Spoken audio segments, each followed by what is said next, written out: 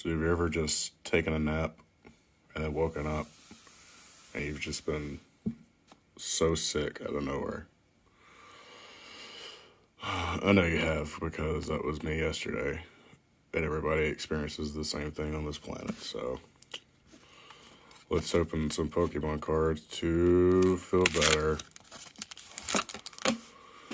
Oh man, I went and got a corona test last night after waking up.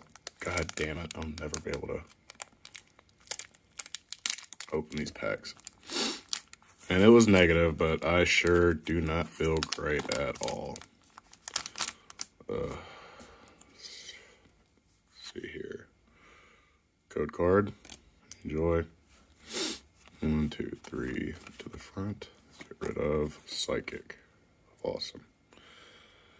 Also may or may not have accidentally bid on a Vivid Voltage booster box. And I also may or may not have won the auction, so that's something to look forward to. Oh, reverse Allister. That's pretty cool. And nothing. Cool. Trash goes over here. Oh, man. How's everyone else feeling? Huh?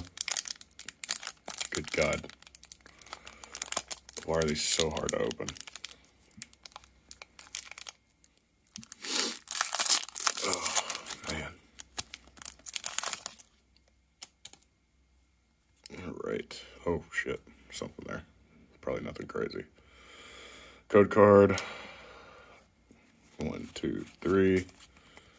And still energy. Let's get this nice and tight. Swallow. Wash energy. Charmeleon. Electrike. Pineco.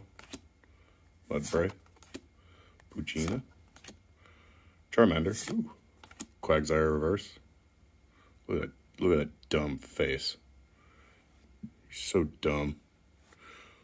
And oh, I like that. That's really dope. Togekiss V. Really good holographics on this. Let's see. This one's worth about seven dollars, according to uh, TCGPlayer.com. That's really fucking cool. I also bought some. Uh, I bought some of these guys too, just to keep up without you know ruining a potentially expensive card one day. So I'm gonna do the Maxmoefoe method of upside down in the soft sleeve, and then carefully get in there, push it in, and then insert Jeff noise. Cool. Nice little pulls. Alright, I'm gonna go back to sleep. See y'all later.